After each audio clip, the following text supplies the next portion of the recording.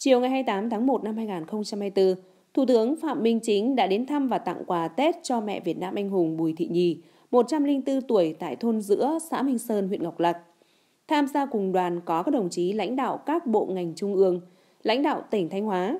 Về phía huyện Ngọc Lặc có đồng chí Phạm Tiến Dũng, tỉnh ủy viên, bí thư huyện ủy, đồng chí Phạm Văn Thiết, phó bí thư thường trực huyện ủy, chủ tịch hội đồng nhân dân huyện, đồng chí Bùi Huy Toàn, phó bí thư huyện ủy, chủ tịch ủy ban nhân dân huyện.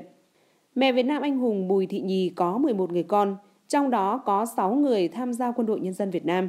Mẹ có hai người con là người con đầu và người con thứ ba đã anh dũng hy sinh vì sự nghiệp giải phóng dân tộc tại mặt trận phía Nam của Tổ quốc. Tại nơi đến thăm, Thủ tướng Phạm Minh Chính đã ân cần thăm hỏi sức khỏe đời sống mẹ Việt Nam anh hùng Bùi Thị Nhì. Mong mẹ giữ gìn sức khỏe, tiếp tục giáo dục con cháu, động viên bà con địa phương, giữ gìn và phát huy truyền thống cách mạng, góp phần xây dựng quê hương Ngọc Lạc nói riêng và đất nước ngày càng phát triển giàu mạnh. Đồng thời khẳng định Đảng, Nhà nước và nhân dân luôn trân trọng, ghi nhớ và biết ơn những đóng góp hy sinh của các thương binh liệt sĩ, gia đình chính sách. Thủ tướng đề nghị cấp ủy chính quyền và người dân địa phương luôn quan tâm, chăm lo, nâng cao đời sống vật chất, tinh thần của mẹ Việt Nam anh hùng Bùi Thị Nhì và các gia đình chính sách người có công trên địa bàn huyện Ngọc Lặc.